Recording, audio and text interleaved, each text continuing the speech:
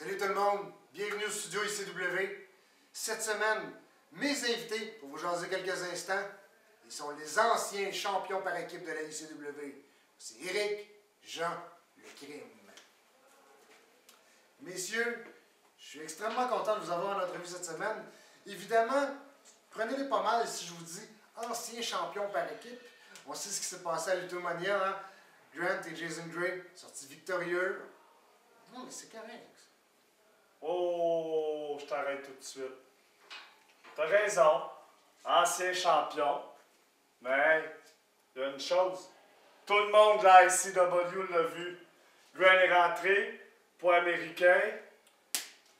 Bang, qu'est-ce que tu veux faire contre ça? Tout le monde l'a vu. Spectateur, tout le monde, sauf l'arbitre. Bon, OK. Passons là à d'autres choses que l'Automania. Bon, vous êtes ex-champion.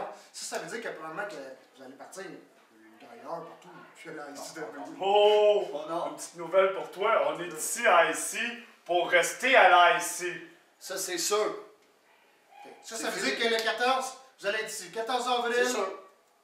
Kidman, à partir du 14 avril, On va ici. on, puis c'est notre on remonte au sommet, number one contender.